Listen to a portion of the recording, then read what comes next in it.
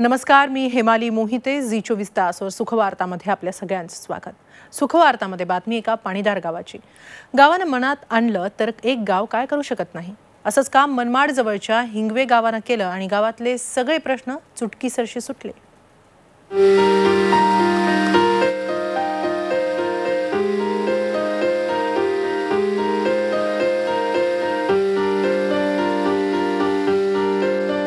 पाण्याचा हा सुख सोहळा आहे नाशिक मधल्या कळवण तालुक्यातल्या हिंगवे गावातला. हिंगवे हे संपूर्ण आदिवासी गाव.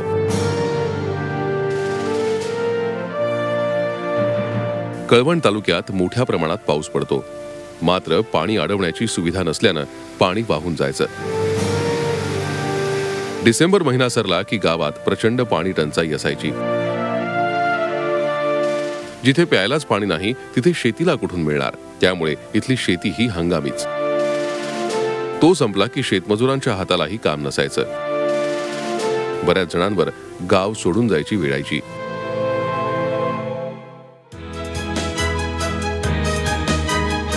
पण या गावाचं भाग्य बदललं ते जलयुक्त शिवारमुळे. जलयुक्त शिवारच्या माध्यमातून गावात तीन बंधारे बांधण्यात आले. एका बंधाऱ्याची दुरुस्ती झाली. गावातल्या भारत शिंदे या तरुणानं जलयुक्त शिवारच्या कामांसाठी ग्रामस्थांना एकत्र केलं.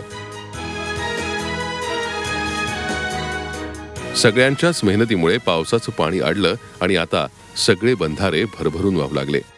वाहणारं पाणी होतं नदीला. ते आपण तिथे त्या ठिकाणी अडवलं. अडवल्यानंतर पाण्याचं लोकांना महत्त्व कळलं की बा एक बंधारा बांधल्याचं पाणी किती अडतं दुसरा बांधला किती पाणी अडलं सलग दोन वर्ष हा कार्यक्रम राबवला. तर आज रोजी पाण्याची परिस्थिती किती जमिनीचा कोटा भरला की आज आम्हाला जे ऐंशी फुटा पाणी होतं ते आज तात्काळ आपल्याला वीस फुटावर पाणी आम्हाला मिळायला लागले. आणि सलग आम्हाला आज मार्च एप्रिल मे जून जुलैपर्यंत पाणी आटत नाही तोपर्यंत परत नवीन पावसाळा लागतो. पाण्याला पाणी लागलं याचा सर्वात मोठा आनंद आहे. जलयुक्तच्या बंधाऱ्यात पाणी साठल्यानं गावाची भूजल पातळी वाढली. परिणामी विहिरींना अवघ्या वीस फुटांवर पाणी आलं. हजारो एकर जमीन ओलिताखाली आली. आता कांदे ऊस लागवडीसह भाजीपाल्याची पिकं बारमाही येऊ लागली. जनावरांना पाणी मिळालं आणि शेतकऱ्यांना दोन पैसे अधिकचे मिळाले.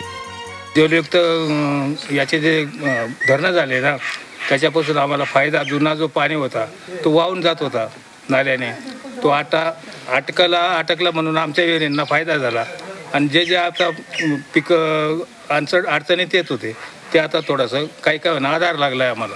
आमच्या गावाला पहिले पाण्याची समस्या खूप राहत होती. या बंधारामुळे पाणी आहे ना आता खूप टिकायला लागलं. हा बंधारा होता त्याच्या आधी उन्हाळ्यामध्ये आम्हाला जवळजवळ हिवाळा संपला का लगेच दुष्काळ पडायचा.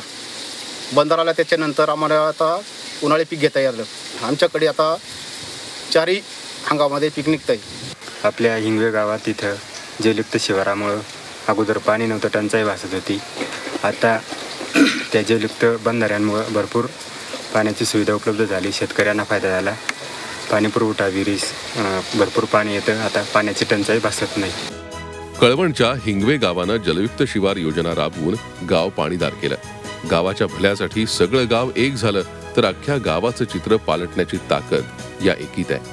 हिंगवे गावातला हा पाणीदार सोहळा त्याचीच साक्ष देतोय. Nilesh Wagh Zee media Manmad. नवी पिढी मोबाईल गेमिंगमध्ये अडकली आहे. अशी स्थिती असताना बदलापूर अंबरनाथमध्ये मात्र साठीतल्या तरुणांचा वेगळाच उत्साह दिसतोय. अंबरनाथमधल्या एका मैदानात रोज साठीच्या आसपासच्या तरुण तरुणी एकत्र जमतात आणि खेळांचा सराव करतात. एका स्पर्धेसाठी त्यांची ही तयारी सुरू असते.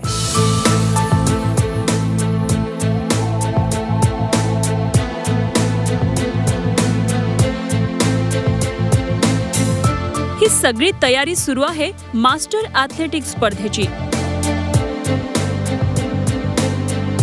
अंबरनाथ बदलापूर कल्याण डोंबिवली या परिसरातले हे सगळे साठ वर्षांचे तरुण खेळाडू.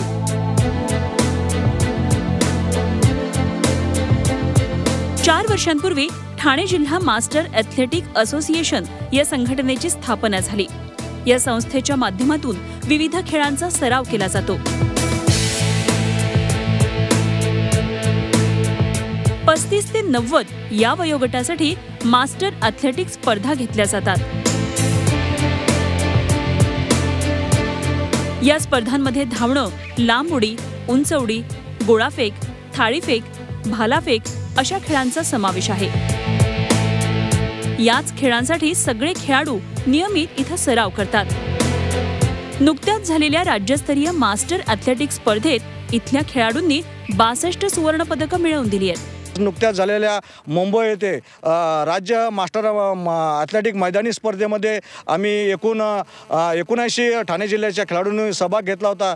त्यामधून पन्नास लो जे मास्टर होते ते अंबरनाथ बदलापूर या शहरातले होते आणि त्यांनी घवघवीत यश मिळवलेलं आहे. आणि आमची आता निवड मेंगलोर येथे होणाऱ्या राष्ट्रीय स्पर्धेसाठी झालेली आहे.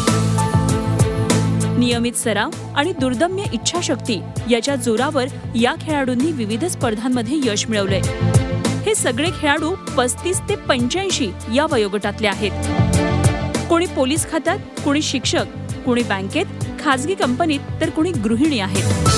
प्रत्येक जण रोजच्या धावपळीच्या जगण्यातून वेळ काढत इथं सरावासाठी येतात. त्रेसष्ट वर्षाची आहे. ज्येष्ठ नागरिक आहे. मी गे- गेल्या चव्हाण सरांच्या बरोबर तीन वर्ष झाली खेळते मला पळण्यात हा डिस्कस थ्रो शॉर्टपुट हॅमर यामध्ये जवळजवळ पंधरा गोल्ड मेडल दहा सिल्वर मेडल आणि चार ब्रॉन्झ मेडल मिळालेले आहेत. हम चाहते हैं कि यंगस्टर्स हम लोगों को देख करके ये एग्जाम्पल उन लोग फॉलो करें और ज़्यादा से ज़्यादा जो तरुण पीढ़ी है जो दर जो यंगस्टर्स जो है जो हमारे ग्रुप के भी जो है वो आकर के इसमें पार्टिसिपेट करके अपना खुद का हेल्थ मेंटेन करें। मला वाटतं डिपार्टमेंटमध्ये फिट राहणं जरुरी आहेच. आणि सगळ्यांनी सगळ्यांनी तब्येतीची काळजी घेतली पाहिजे आणि त्यासाठी ग्राउंडवर येणं सध्याच्या आजच्या काळाची गरज आहे. मैं अपने फैमिली को टाइम देने के साथ में अपने आप को भी टाइम देना चाहती हूँ और अपने फिटनेस के लिए मैं ये स्पोर्ट्स करती हूँ जिसमें मुझे बचपन से इंटरेस्ट था। शादी के बाद मुझे ये एक ग्रुप मिला जिससे मैं अपने स्पोर्ट्स को और ज़्यादा पॉलिश कर सकती हूँ और ज़्यादा इनक्रेज कर सकती हूँ अपने आप को। मोबाईल गेम्सच्या जमान्यात लहान मुलं किंवा तरुणही मैदानावर फिरकत नाहीत. आणि अशा परिस्थितीत साठीच्या आसपासच्या या तरुणांचा हा उत्साह प्रेरणा देणारा आहे. Chandrashekhar भुयारसह bureau report Zee media Ambernath. आणि आता बातमी एका उद्यानाची. गावातली हवा शुद्ध राहावी सगळ्यांना एकत्र येऊन चार गप्पा मारण्यासाठी हक्काचं ठिकाण मिळावं म्हणून गावचेच तरुण पुढे आले आणि एक सुंदर उद्यान साकारलं. पाहूया विंचूरच्या एका उद्यानाची ही गोष्ट.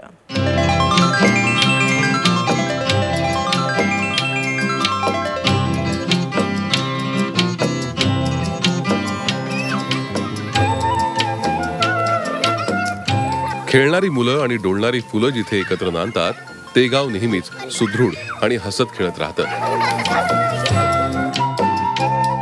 महाराष्ट्रातलं असंच हे गाव विंचूर जिल्हा नाशिक. विंचूर मधल्या सन्मित्र नगर मधल्या वीस गुंठ्यावर साकारलेलं हे उद्यान. ग्रामस्थांनी आणि ग्रामस्थांसाठी तयार केलेलं हे उद्यान. त्यासाठी नगरपालिकेकडे एक पैसाही मागितला नाही. भरभरून ऑक्सिजन देणाऱ्या बागा गावचा श्वास असतात. म्हणून गावकरीच कामाला लागले. आठ लाखांमध्ये ही बाग तयार झाली. पाहता पाहता ताहमण बहावा मोरपंखी black ficus jatropha spathodea aralia ही सगळी फुलं डोलू लागली. फुलं आली म्हटल्यावर फुलपाखरही आली आणि त्यांच्याबरोबर खेळायला मुलंही आली. रस्ते पाणी गटारी आणि वीज यावरच ग्रामीण भागातला नागरिक संतुष्ट असतो. परंतु त्याच्या शारीरिक आणि मानसिक स्वास्थ्यासाठी उद्यानं ही महत्त्वाची गरज आहे हे लक्षात घेऊन आम्ही या ठिकाणी वीस गुंठे जागेत या उद्यानाची निर्मिती केली. या कामासाठी कुठल्याही प्रकारची शासकीय मदत आम्ही घेतली नाही. मानसिक प्रसन्नतेबरोबरच शारीरिक सुदृढतेचंही हे उद्यान काटेकोरपणे काळजी घेतं. ग्रीन जिम जॉगिंग ट्रॅक लहान मुलांसाठी खेळणी या सगळ्याचाही उद्यानात समावेश आहे. उद्यानात महिलांसाठी वेगळी जागा राखून ठेवण्यात आली आहे. संध्याकाळी चार ते सहा हा वेळ फक्त महिलांसाठी व्यायामाचा म्हणून राखून ठेवण्यात आलाय आमच्या इथे विंचूरमध्ये खूप छान प्रकारे उपक्रम राबवण्यात आलेला आहे आणि इथे महिलांसाठी आणि लहान मुलांसाठी खूप छान प्रकारे याचा उपयोग होतो आणि इथे मुलं जे बाहेर बाहेर खेळतात ते इथे येऊन खेळतात आणि त्यांचा व्यायाम देखील होतो. महिला स महिला इथे येतात आणि त्यांचाही खूप छान प्रकारे व्यायाम वगैरे होतो. निलेश चव्हाण हे शिवसेनेचे दिवंगत नेते. विंचूरच्या या दिलदार पुत्राची कायमची आठवण राहावी म्हणूनच या उद्यानाला निलेश चव्हाण उद्यान असं नाव देण्यात आलंय. निलेश चव्हाण मित्रमंडळानं या उद्यानासाठी पुढाकार घेतला. विशेष म्हणजे फक्त उद्यान निर्मिती करून ग्रामस्थ स्वस्थ बसले नाहीत तर उद्यानाच्या देखभालीची जबाबदारी वाटून घेण्यात आली आहे आम्ही ज्यावेळेस या उद्यानामध्ये सगळे आम्ही ज्येष्ठ नागरिक येतो त्यावेळेस हे सगळे इक्विपमेंट वापरतो ही सगळी ग्रेनरी बघून हे झाडं बघून आणि हे जॉगिंग ट्रॅकमध्ये आम्ही ज्यावेळेस फिरतो तर चांगलं असं समाधान मिळतं. आणि ज्येष्ठ नागरिकांकरता जे योगा प्राणायाम वगैरे असतात ते इथं आमच्या ह्या जिमच्या माध्यमातून किंवा वॉकिंगच्या माध्यमातून होतात. लहान मुलांपासून ते ज्येष्ठ नागरिकांपर्यंत प्रत्येकाला काही ना काही या उद्यानात गवसत आहे. फुलपाखरांबरोबर मुलं उड्या मारतात. ज्येष्ठ नागरिक इथे प्राणायाम आणि व्यायाम करायला येतात. सुखदुःखाच्या चार गुजगोष्टी करतात. विंचूर सारख्या ठिकाणी महिलांनी जिमला जाणं म्हणजे तसं कठीणच होतं. पण या उद्यानाच्या निमित्तानं गृहिणींना त्यांचं हक्काचं जिम उपलब्ध झालंय. तरुणांना फिटनेससाठी जॉगिंग ट्रॅक मिळालाय. आणि रोज व्यवसाय नोकरी करून आलेल्या सगळ्यांनाच थोडेसे निवांत क्षण या उद्यानाच्या निमित्तानं मिळत आहेत आणि सगळ्यात महत्वाचं म्हणजे या सगळ्याच ग्रामस्थांच्या घामातून आणि कष्टातून हे हिरवं चैतन्य उभं राहिलंय. त्याचा आनंद सगळ्यात जास्त. Chetan Kolas Zee media Vinchur.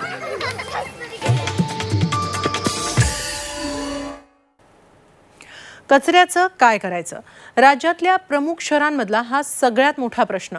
Hill station असलेल्या पाचगणी नगर परिषदेनं यावर एक उत्तम तोडगा शोधून काढलाय. देशातला पहिला स्वच्छ भारत स्तंभ इथं उभारण्यात आलाय. पाहूया पाचगणी नगर परिषदेनं कुठलं कौतुकास्पद काम केलंय ते.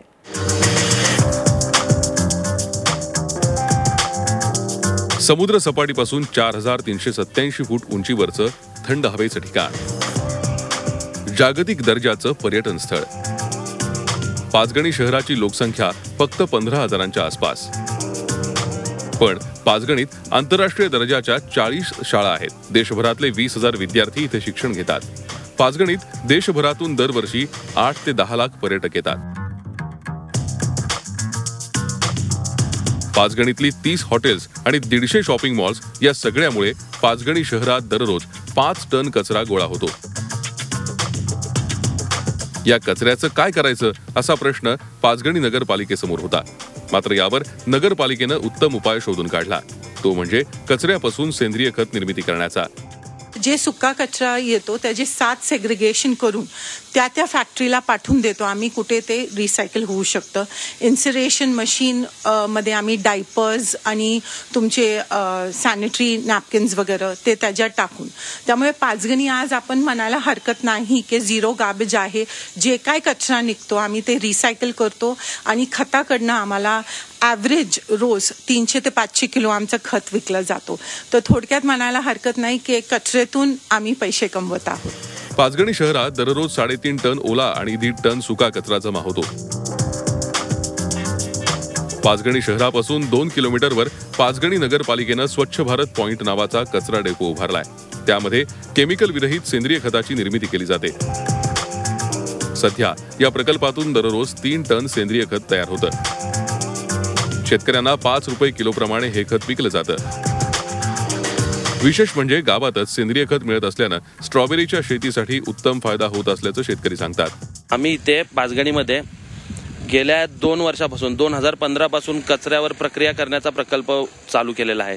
त्यानंतरनं आपण बघू शकाल आता पुढे गेल्यानंतरनं. जर क कचऱ्यावर प्र प्रक्रिया करण्याचा प्रकल्प चालू केल्यापासून इथे तुम्हाला कुठेही कचरा दिसणार नाही. इथे तुम्हाला एक अशी मस्त अशी गा गार्डन वगैरे दिसेल.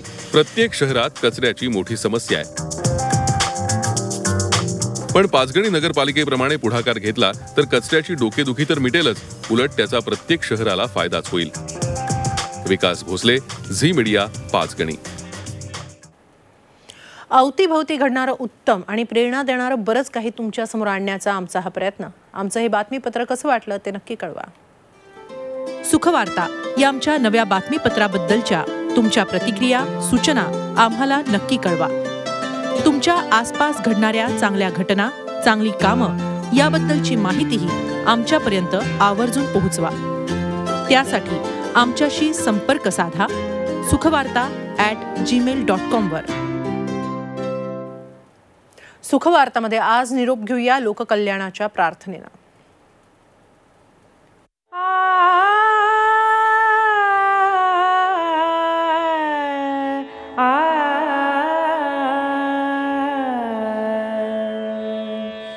विते ज्ञान